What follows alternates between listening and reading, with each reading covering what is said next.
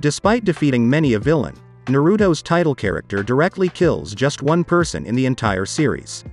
Set in a world of warring ninja nations with otherworldly powers, it's no surprise that Naruto is one of the more violent Shonen Jump properties, and has included its share of blood, gore and impalement. Despite this, Naruto Uzumaki's kill count is extremely low.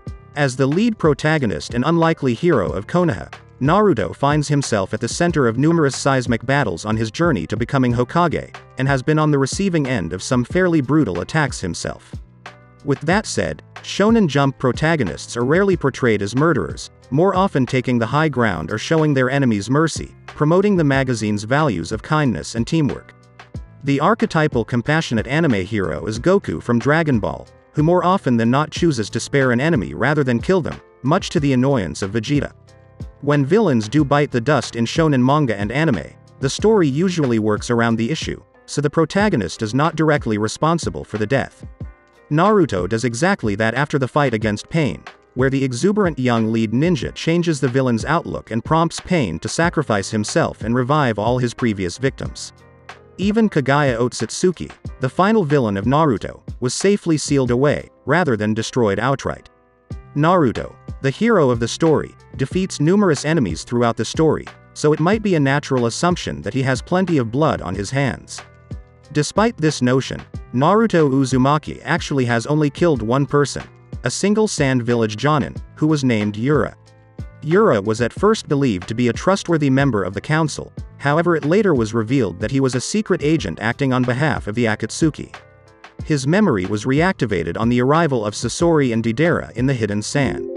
After Yura's espionage comes to an end, Pain transforms him into an Itachi clone. Under the guise of the brother of Sasuke, Naruto, Kakashi, Sakura and Chiyo face off against Yura, who eventually is killed by Naruto's giant Rasengan technique. Viewers later see Yura's corpse, confirming his death.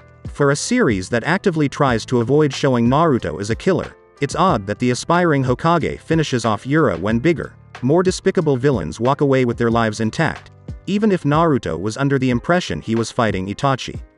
Perhaps the Akatsuki puppet was considered a minor enough character that Naruto could destroy him without his morals being questioned, or maybe the death was meant to highlight Naruto's increased maturity after the time skip, since the fight occurs at the very beginning of Naruto Shippuden.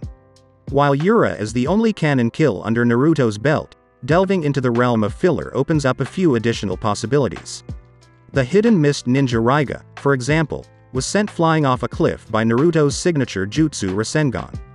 Raiga actually committed suicide while falling, probably realizing the fall would kill him anyway, so Naruto perhaps isn't entirely responsible for Raiga's death, even if his daughter did come seeking vengeance years later. Furthermore, Naruto had a hand in the defeat of Urashiki Otsutsuki. This villain travels to the past in a Boruto filler arc to attack Naruto's younger self. Urashiki was destroyed thanks to the combined efforts of Naruto, Sasuke, Boruto, and Jiraiya, making Naruto jointly responsible for the character's demise in this non-canon adventure. Yura's death is an exception to the unwritten shonen rule that protagonists shouldn't be merciless killers. Because of this, there has been some speculation that Yura's life had already been claimed by Pain's shapeshifting jutsu, and Naruto's big Rasengan merely broke the transformation and left a corpse behind. Although there's nothing in canon to suggest this is the case, Yura being killed by Pain, rather than Naruto, would allow the title character to maintain his moral superiority by not landing the final blow. Officially, however, Yura is the only character whose death was directly administered by Naruto himself.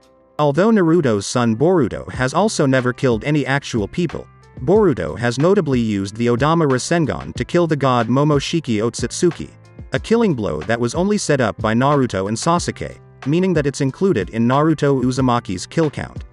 Moreover, as Naruto once explained, he doesn't see Momoshiki as anything resembling a human, not because of Momoshiki's godly powers, but due to his lack of redeeming qualities. Indeed, before the fated encounter between Momoshiki and Boruto, Momoshiki was singularly focused on doing whatever was necessary to attain godhood and become one of the Naruto franchise's most powerful villains. Notably, after Boruto kills Momoshiki, the god marks Boruto with a comma, in effect preserving the spirit of Momoshiki, who explains that he can only die if Boruto dies. Much later, Boruto's adopted brother Kawaki kills a Momoshiki-possessed Boruto. Kawaki may have permanently killed Momoshiki, but it was Boruto who first dealt the killing blow to the Otsutsuki god.